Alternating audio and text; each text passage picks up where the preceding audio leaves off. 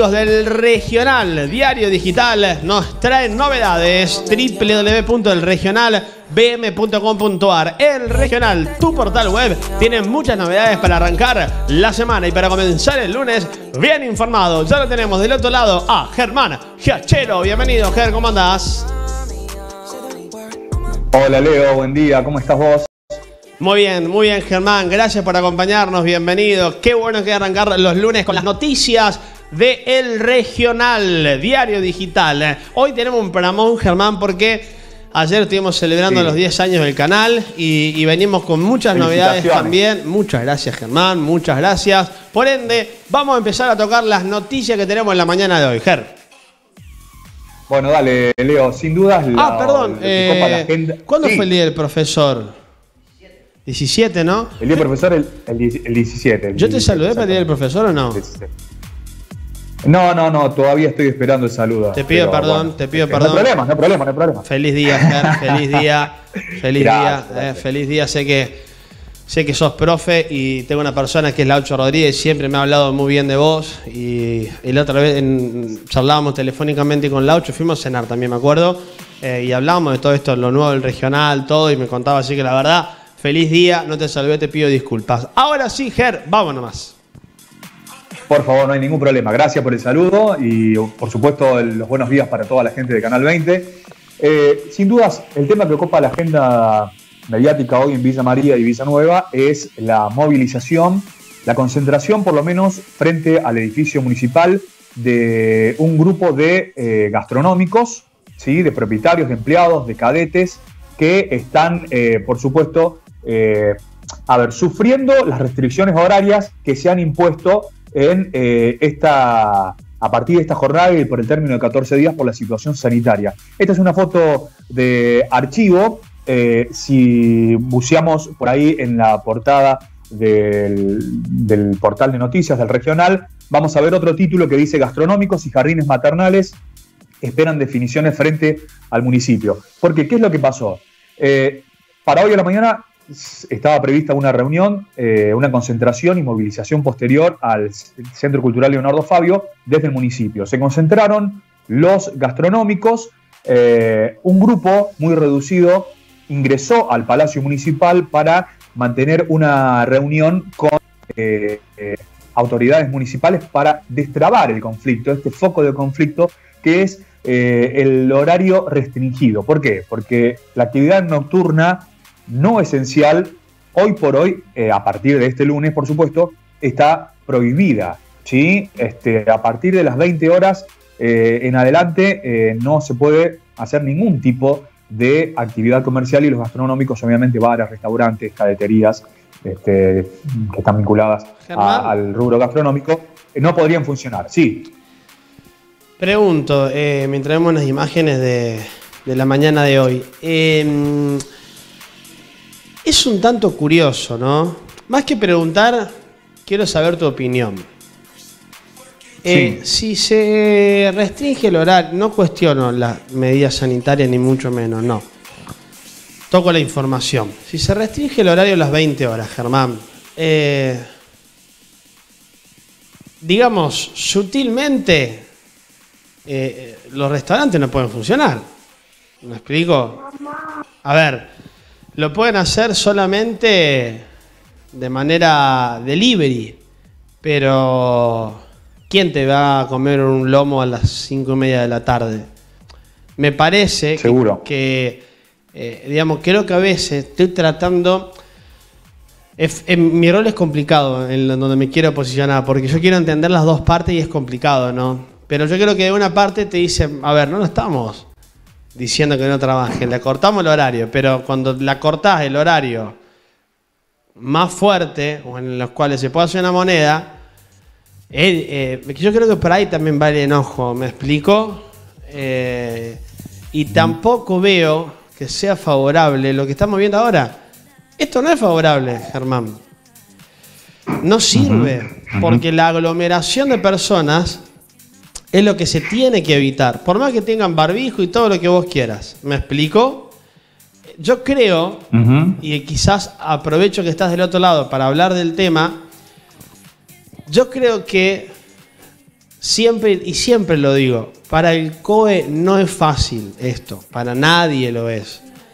Pero cada medida que se tiene que tomar, me parece que se tiene que pensar las consecuencias que puede haber.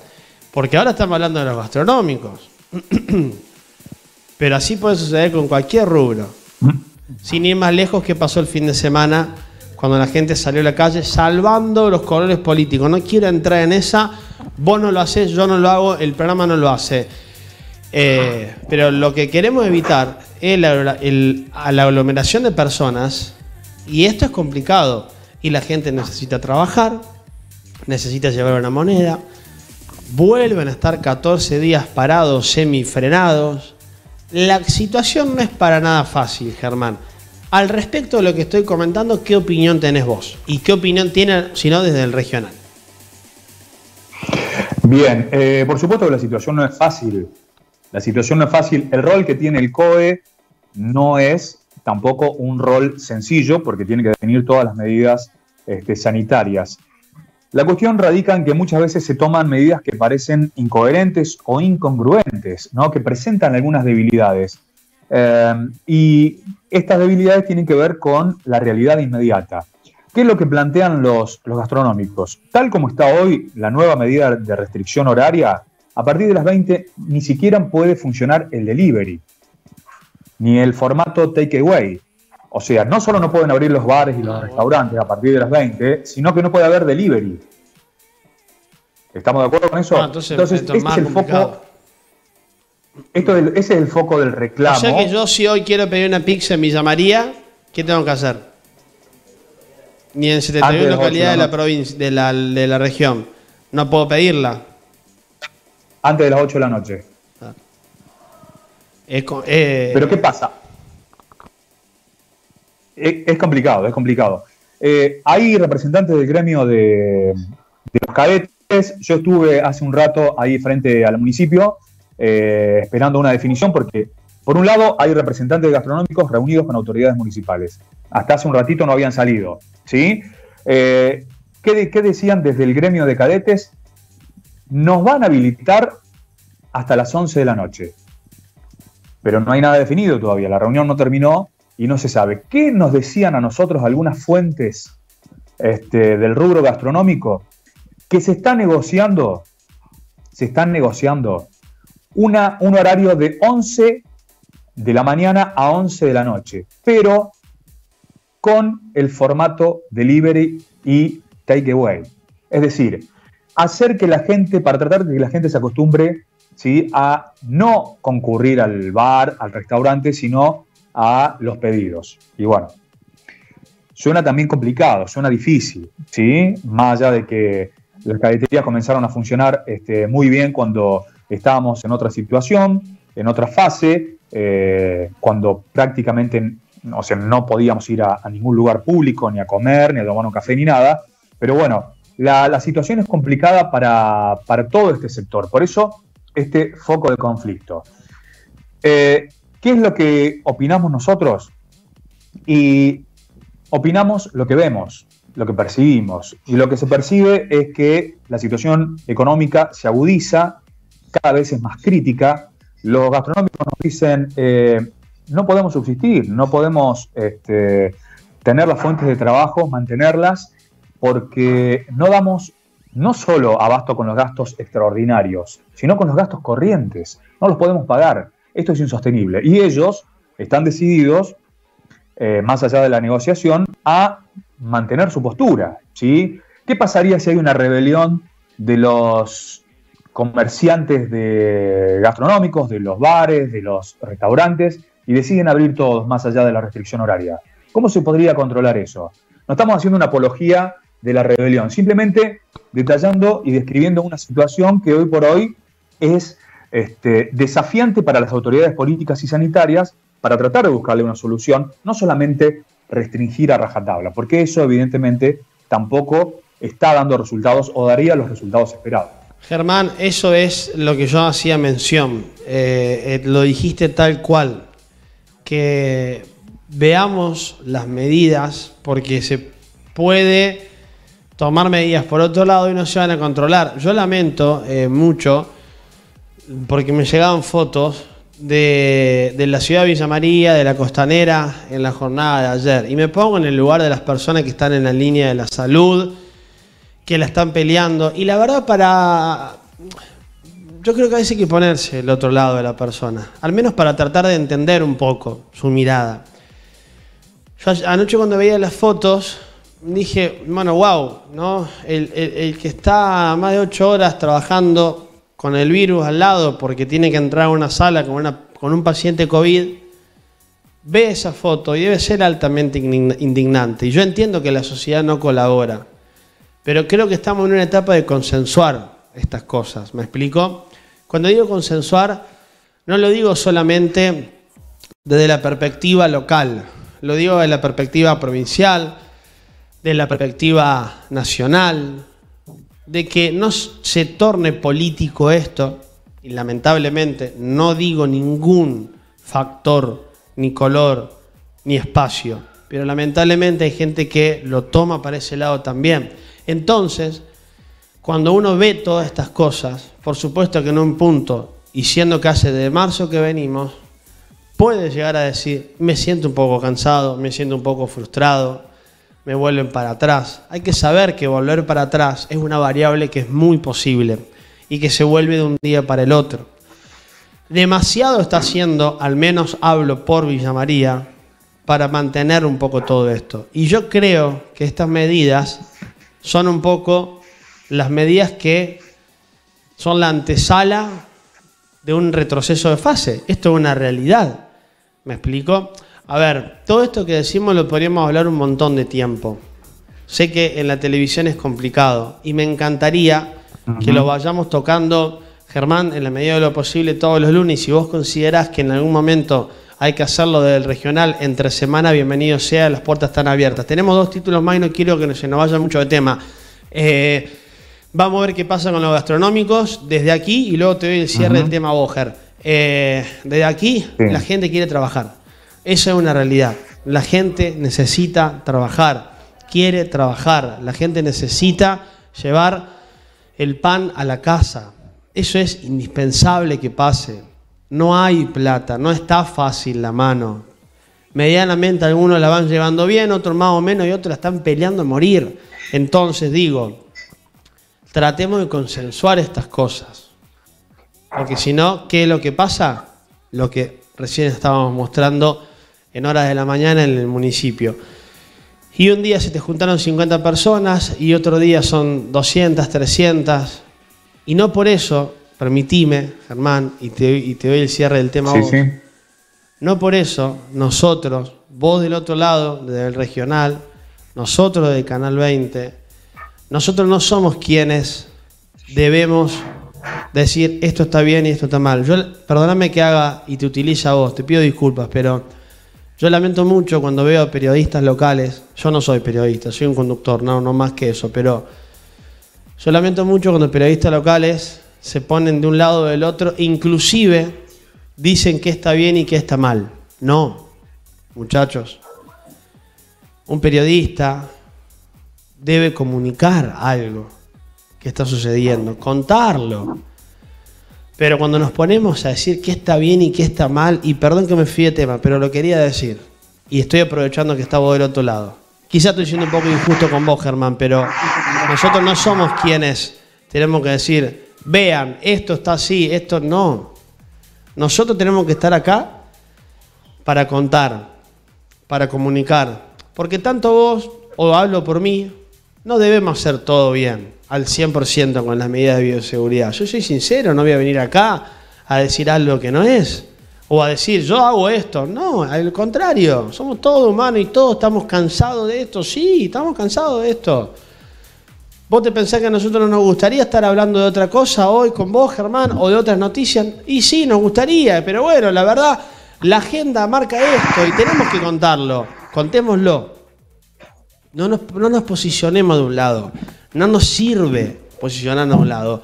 Perdón, Germán, a lo que expresé al final lo quería decir porque la verdad lamento mucho, lamento que muchos periodistas se pongan en el rol de autoridad. Las autoridades las elige el pueblo en todo caso y ya lo ha hecho. después cada uno puede decir si está bien o mal el rol que están cumpliendo. Ger, te doy la finalización del tema a, vos que estás del otro lado. Bien, dos cosas por un lado. Eh, esta, esta restricción horaria que de alguna forma beneficia a algún sector del comercio porque eh, se extiende de 8 a 20. Algunos sectores comerciales aparecen beneficiados. No los gastronómicos, obviamente, los gastronómicos no aparecieron beneficiados en este sentido. Eh, por mucho menos en otras localidades se volvió a fase 1. Por mucho menos en otras localidades se volvió a fase 1. Entonces, por lo tanto, ¿qué es lo que ocurre? ¿Qué es lo que ocurre? Eh, esta es una manera velada quizás eh, para no volver a, fase 1. Leo, yo estoy viendo ahí algunas imágenes este, tuyas, no estoy, no estoy viendo los. No estoy viendo las imágenes del, este, de la movilización en la municipalidad. Por eso no sé si los, chicos están, tomando en cuenta o no a eso. Eh, bien, y por último, no, cerrar. Eh, está en eh, pantalla, Ger, queda tranquilo eso. Ah, ah, está bien, está bien, está bien. por otro lado, lo que les quería decir es que simplemente o sea, en relación a tu comentario, el periodismo también una de las funciones que tiene es la de opinar. Eh, la de opinar y comentar y decir lo que le parece. Lo que no está siempre bien es, eh, coincido con vos, en erigirse como eh, los, a ver, ¿cómo, ¿cómo, decirlo sin caer en lugares comunes y sin que, sin que suene mal?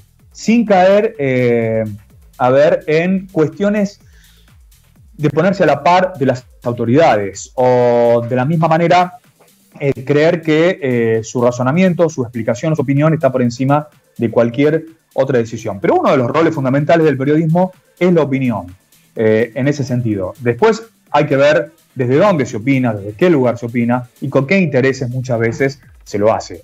eso por un lado. Volviendo al tema del, del COVID, de las decisiones, es muy difícil.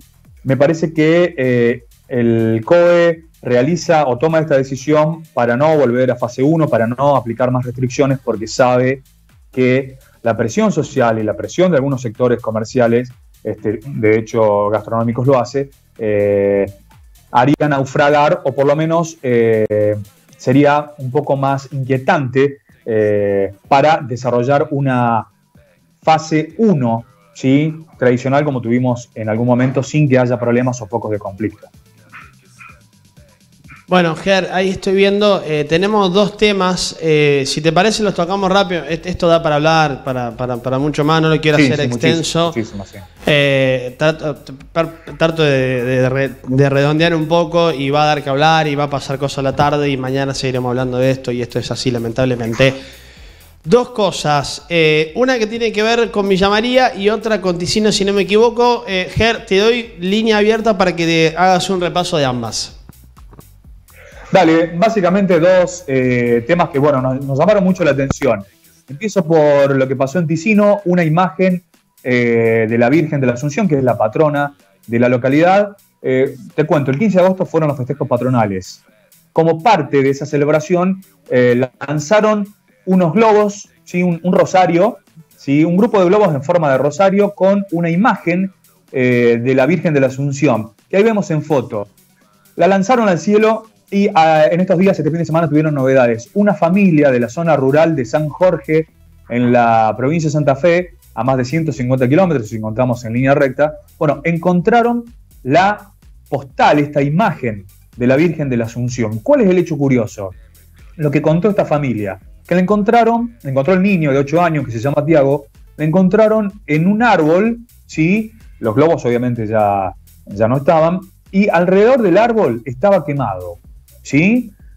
Había en ese caso había habido un foco de incendio supuestamente, pero la postal de la Virgen estaba eh, prácticamente intacta. Eso es lo que comentó esta familia y lo que llamó muchísimo la atención, ¿no? Por eso el, reflejo más allá del hecho de que esta imagen haya recorrido tantos kilómetros, tantos kilómetros y fuera hallada en esta ciudad santafesina, ¿no? Un hecho que suena un poco curioso, extraño, que se suma a un largo listado de sucesos este, cuasi milagrosos, por llamarlo de alguna forma.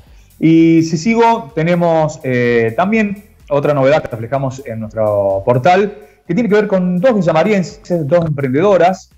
Una es fotógrafa, la otra se dedicaba eh, a la atención comercial. Bueno, eh, decidieron unir sus esfuerzos, empezaron vendiendo cuadros, ¿sí? Cuadros cancheros le llaman, le llaman ellas, y estos cuadros llegaron a famosos, a famosos actrices, cantantes, influencers, que hoy están muy de moda los influencers, personajes públicos que en las redes sociales cuentan con millones de seguidores y bueno, pueden hacer toda una campaña publicitaria. De hecho, las empresas utilizan mucho a los influencers para hacer campañas publicitarias. ¿Qué pasó? se contactaron, ¿sí? Este, las contactó, mejor dicho, un influencer eh, que tiene más de un millón de seguidores, les pidió unos cuadros y a partir de ahí se hizo una cadena imparable y actrices este, como Andrea Esteves, como recién veíamos, este, Juana Repeto, eh, bueno, varias más eh, que en este momento no recuerdo exactamente, bueno, una actriz que estuvo en la novela que fue muy famosa, que tuvo muchos éxitos, eh, Argentina, Tierra de Amor y Venganza, Valena Sánchez, de ella estoy hablando, bueno, ella también tiene los cuadros de estas dos emprendedoras villamarienses, cuadros con un diseño personalizado, eso es lo que hacen ellas. Este, el cuadro que te guste, ellas este, lo diseñan, te lo envían, este, y bueno, hoy están distribuyendo a todo el país, de hecho, eh, les han dado trabajo a, dos familiares. Ahí está Fabricio Rodríguez, lo vemos que también tiene sus propios cuadros en la lista de, famosos. Son dos emprendedores villamarienses que en medio de la pandemia le buscaron la vuelta y encontraron esta, esta salida laboral y comercial y está rindiendo sus, frutos, Leo. Muy bien. Eh, Ger, quiero agradecerte el tiempo. La verdad tenemos que meter todo un programa y, por ahí aproveché yo con las personas que veo que, se pueden hablar diversos temas, me gusta desarrollarlo y con vos eh, no es que quiero quedar bien, pero es una persona que podemos hablar puntualmente del primer tema que tocaste, los otros dos, lo de la Virgen.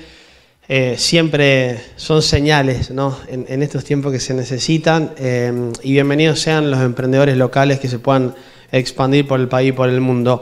Todo esto y mucho más en el regional bm.com.ar.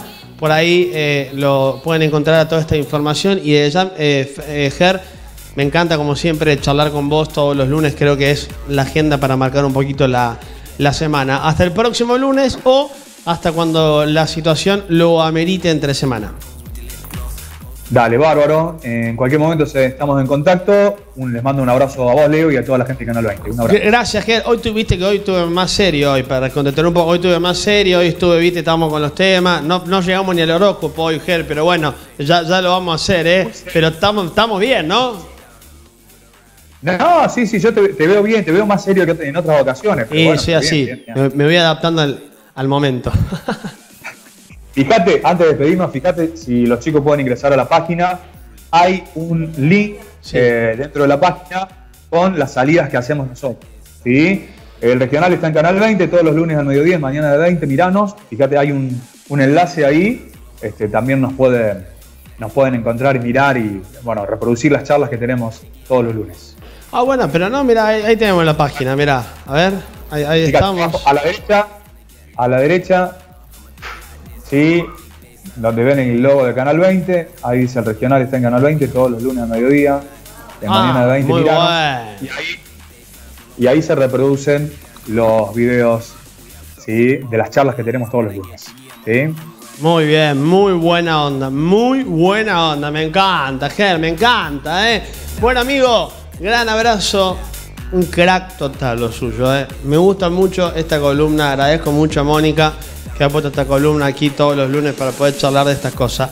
A veces tenemos más tiempo, a veces menos, pero siempre es un placer charlar con vos, Germán.